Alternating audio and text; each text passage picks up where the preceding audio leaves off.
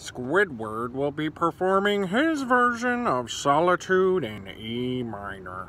Yeah,